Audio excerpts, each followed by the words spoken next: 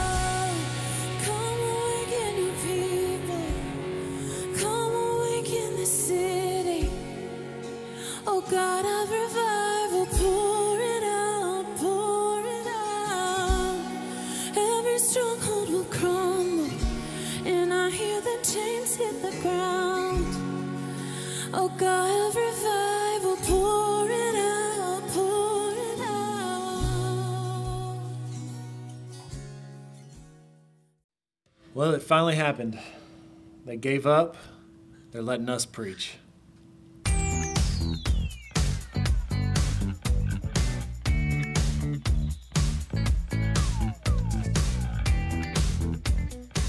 Our history as a church uh, is kind of a long one uh, in terms of, well, just being a church in general. Yeah, 159 uh, years. To be exact, yes. To be exact. Okay, all right. Um, but it also is full of us planting churches and doing missions and starting new churches.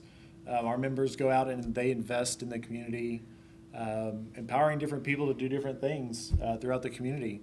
Um, and that's not only here in our community in Waxahachie or Ellis County, uh, but I mean, we do mission stuff around the world um, in a bunch of different countries. And yeah. one, of, one of the main ones is Kenya. Jeff, you've gone to Kenya multiple times. Yeah, so we yeah, our church really does a lot of things investing in in lives of people abroad. You know, we you know we have uh, several different missionaries that we support, Right. but but obviously I I've done a lot of work in Kenya. Um, but one of the coolest things is is it's not really just about the trips that we take.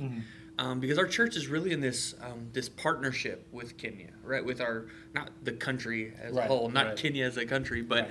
but uh, specifically a church in Kenya, Koinonia Baptist Church. Our churches um, are together in this partnership, and so even when we're not there, ministry's happening.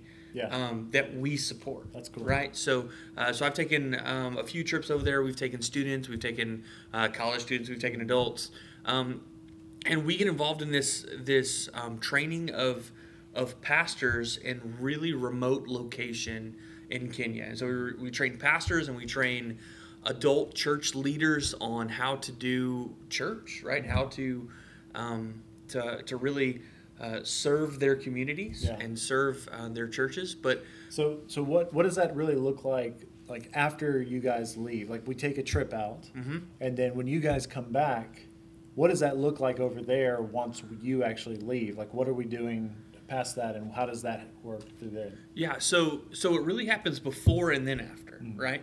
So before we ever got there, um, this this group went out to this really remote spot and found uh, new believers, right? And they decided to all over this portion of of uh, their country to start new churches, Okay. right? Well, all of these new churches needed pastors, right? And and a lot of the people who are believers in that area um, don't know how to read or write, even. It and can be an issue when you're teaching, Yeah. reading the Bible, right? yeah, yeah, teaching a written text. Right, right. So yeah, um, and so uh, what happened was is these these people kind of saw this huge need, Mm-hmm. and then we came in and we kind of felt God calling us to partner with this this church who are ministering to somebody who's not even in their own county, right? Like they're ministering. This is like a mission of them Yeah, to go out to this awesome. remote spot. And so, um, anyways, and we we host these kind of like um, events that that focus on either children or adults or whatever. But then even after we leave, um, this church still sends people out uh, to go and teach these pastors, um, gives them basic theological training, um, teaches them how to um, preach using a storytelling method because a lot of them don't know how to read. So they teach them stories of the Bible that that way they can preach and share the gospel Gotcha. um, with. And so it's really cool because because of our church and what we do and, and our desire to to really make a difference not only in Waxahachie or Ellis County but also through the world, um, we you know we pay for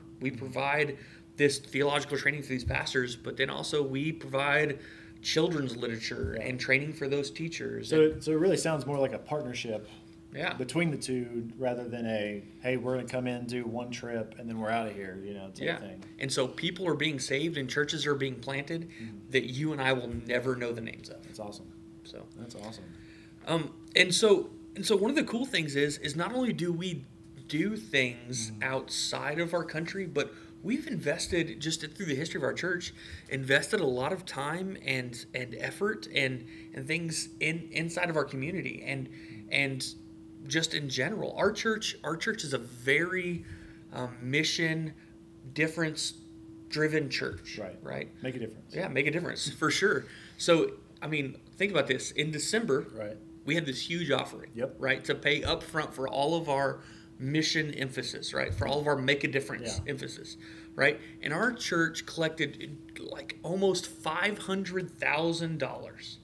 Yep. Five. Our church gave. Can you look at that? Our church gave five hundred thousand dollars. Wait, but what the crazier part is, it's just in December. Yeah, just in December. Just in December, we gave Yeah, five hundred thousand dollars. I mean, I mean, That's they're crazy. yeah. My my first church that I worked at, Yeah. like that's like tripled their budget. Triple the, just the whole year. yeah, the whole budget, church, yeah, the whole yeah. church. But our church generously gave five hundred thousand dollars to making a difference. Right. Um, and so and so God really put um, our like a commitment on our heart to fulfill that commitment first, right? To to to do that. Yeah. Because we didn't know this. We didn't know this, but uh, there's something big that happened in 2020. Um, this giant pandemic that happened. Who would have thought? Yeah. Who would have thought that you know we you know all these organizations that would need this money up front because they probably wouldn't get it during the year. Yeah. We were able to give it to them up front. We didn't trust me. None of us knew the pandemic was coming. No, okay? at all. I promise you, I didn't. I promise you, Jeff didn't. David didn't. Chet did. I promise you, none of us knew that No. was coming. So that's Yeah. that's pretty crazy. That's that's God working right there. Yeah, and so you think about the, all these these organizations that we we help. I mean, even our friends in Kenya, right, Right. who are still suffering the, from the pandemic over there. Um, but we were able to give them our entire year's Yeah. uh, support in December before the year even started. Yeah. And and so in the time when nonprofits have been financially hurting, um, we were able to support them before it ever happened. Right. That- so that's God, crazy. yeah, God did something really cool That's awesome. um, through our church, and uh, and it's something that we can really um, we can really be proud of, Yeah. right? That that Right. God put that in our heart, and that and that we were able to support them. And you know, one of the one of the people who we support is is Common Ground Ministry, right? And so, uh, Common Ground is a ministry uh, to kids. Um, and so we're really proud to support them and and through all the stuff that they do in um, in building relationships and sharing the gospel with those children but but also i mean we do that giant toy drive Yeah. hmm Every year. every every year and we Yeah. um, we donate hundreds of toys to Right. common ground and uh, we're really really proud of all that common ground does but we're also proud to just for us to be a part of what god is doing there Sure. We got a quick video that's going to show you a little bit more about what they're about and what they do. First Baptist Waxahachie is making a difference.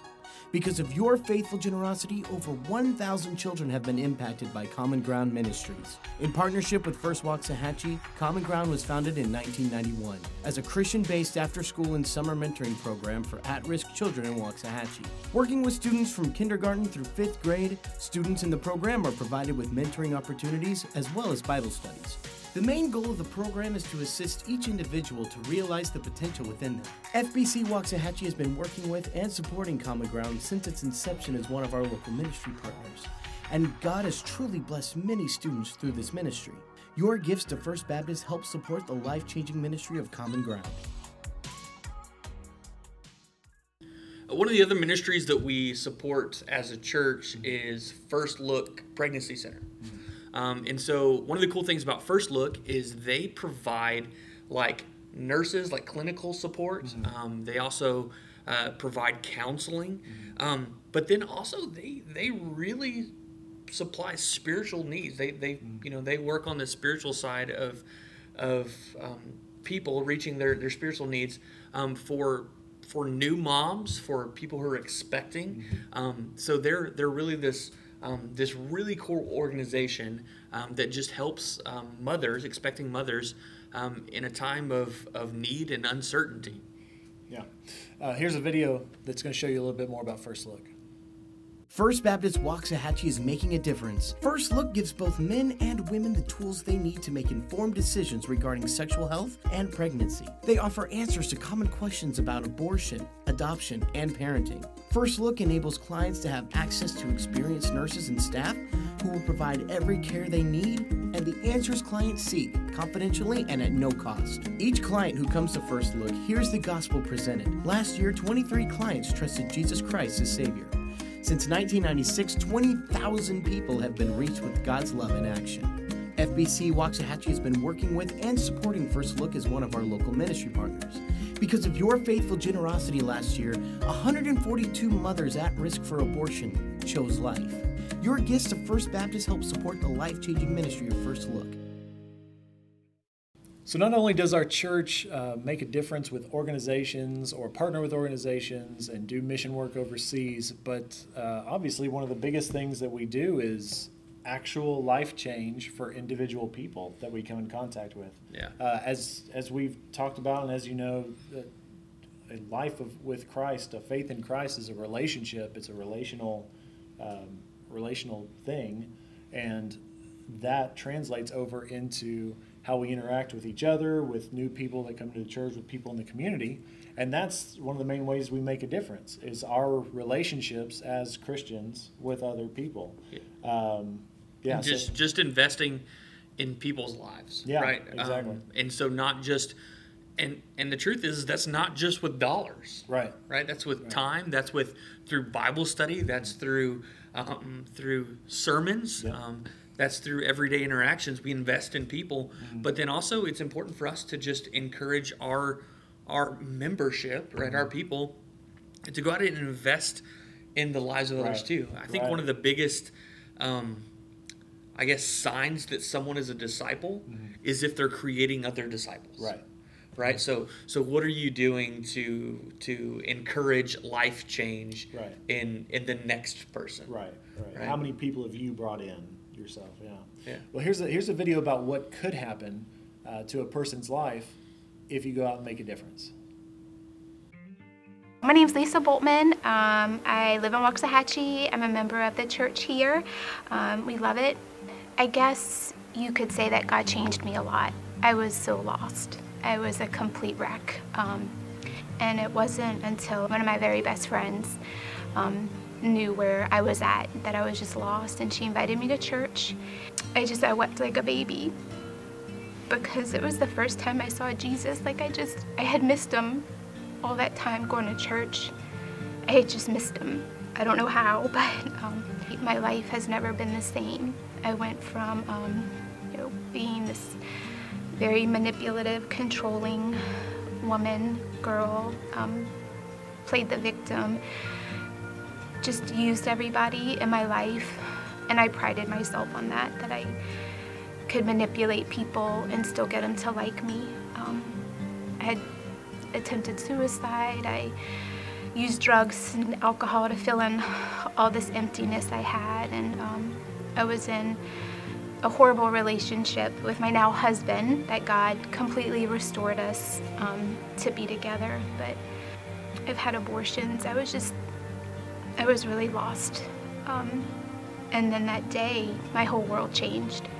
God slowly worked on me. He pulled out all that mess that I had created um, in my life and slowly pruned me. Uh, I mean, there's no other way that I can say it that it was totally God because if you would have seen me before, um, you may not have given me much. You probably would have thought, oh, I need to share the gospel with her, but I'm afraid because she looks kind of, you know, maybe hopeless. But there's definitely hope.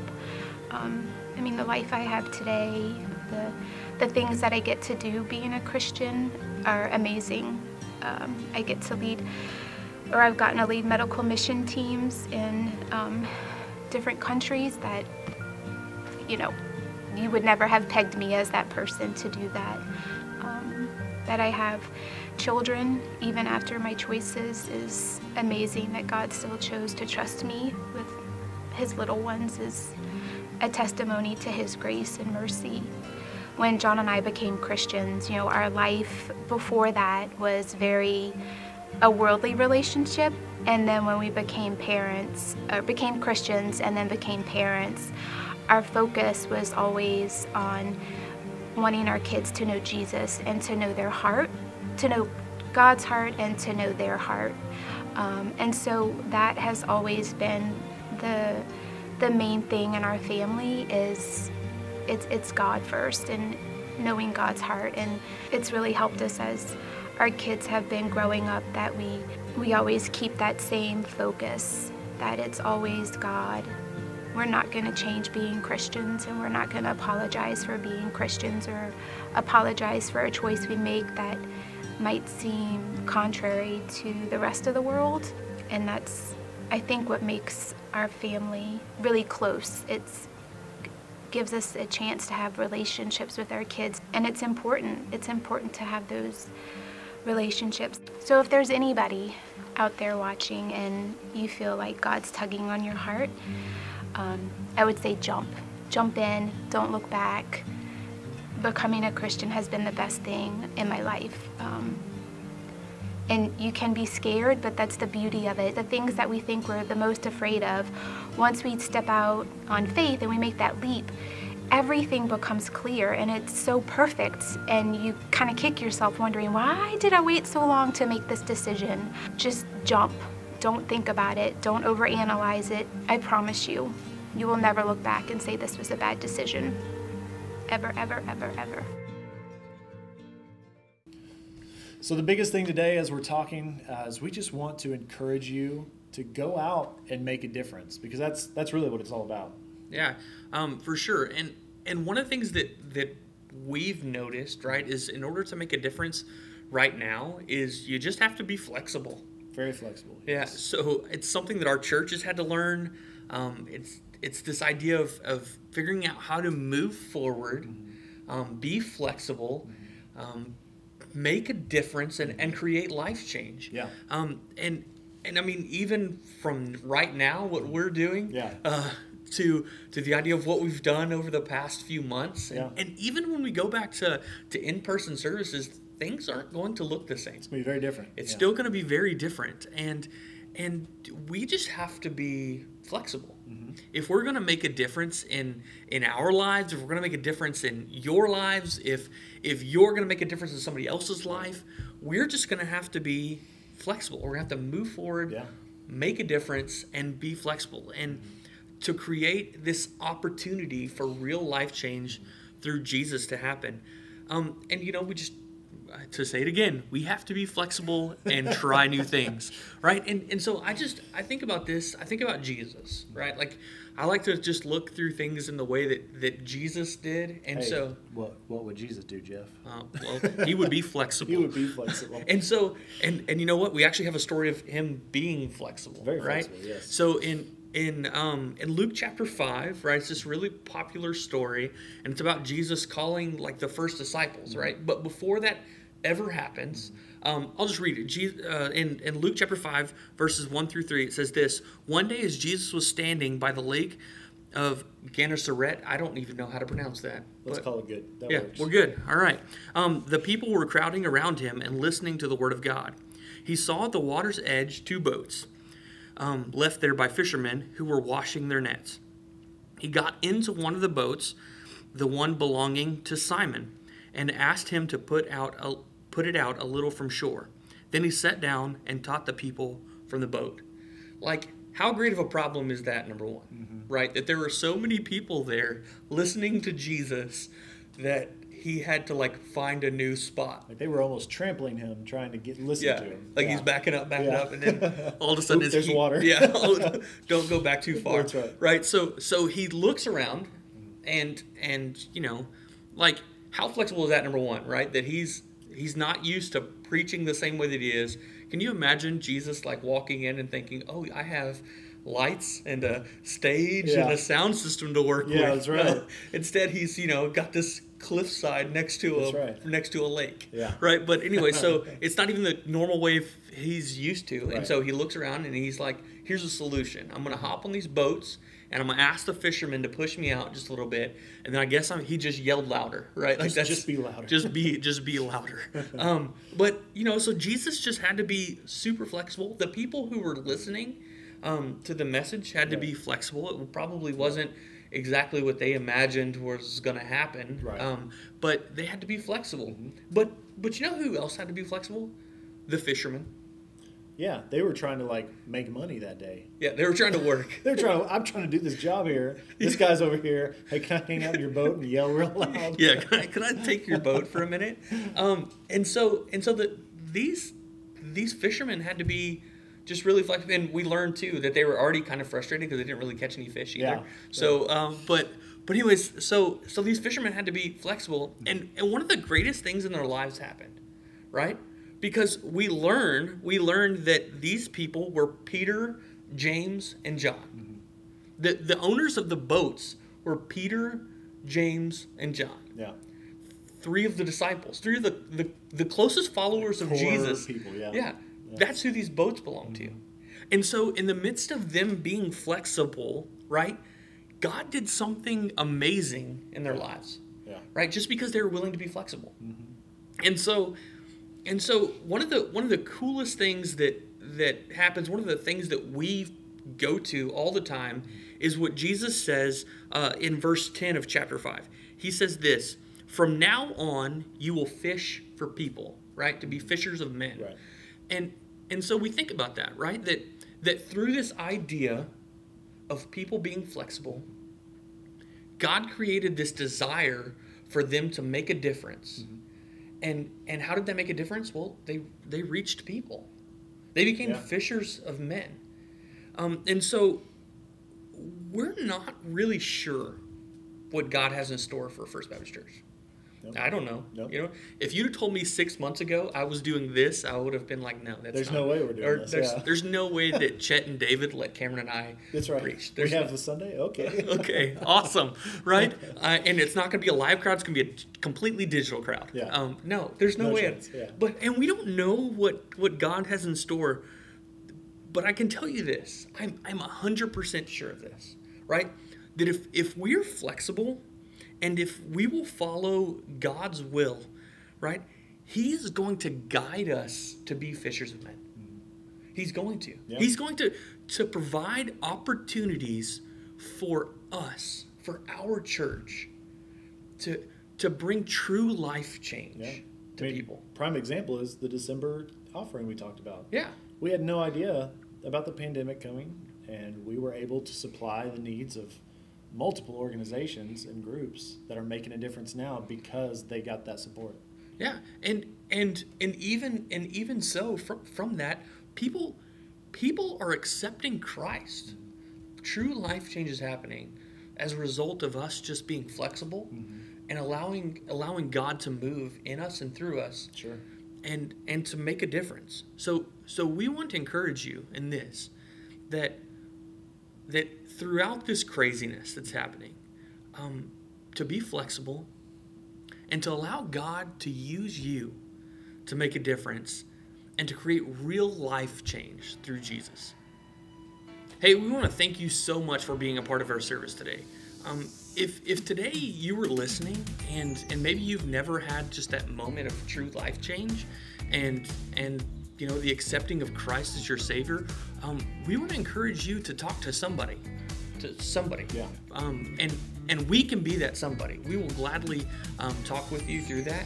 And so if you want to to message us or email us or even just reply down in the comments, we would love to we would love to talk to you and walk you through that. Or or if you're excited about all that God has done um, in First Baptist Church and Yeah. through First Baptist Church, and you want to be a part of the family here at First Baptist, um, we'd encourage you to do the same. You can um, email us, you can uh, call us, or you can comment down below. We'd love to talk to you, um, and we'd love for you to be a part of the family here at First Baptist.